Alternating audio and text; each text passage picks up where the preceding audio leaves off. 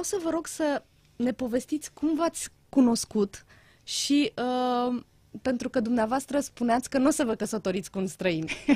și totuși ați făcut-o. Da, da, e interesant, da. Că spunem asta de ce? Că cu francezii, bărbați francezi, mi, mi era greu să mă înțeleg, nu știu, parcă eram dintre lumii diferite. Și am spus dacă cu un străin, cum să fie? E o alte cultură, alte background și cum să fie așa ceva posibil. Și uitați că așa a fost. Când m-am întors din România, nu știu, întâmplător, între ghimeți, m-am întâlnit cu...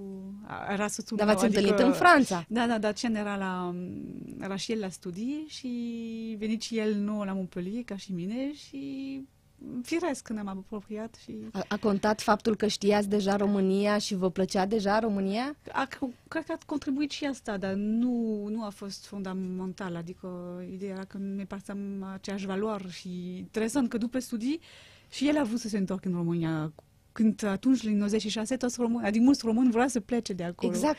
Și el vrea să vină înapoi, să, să-și ajut țara și eu vreau și eu să vin aici, că mi se pare minunată și multe de făcut și multe de, de trăit aici.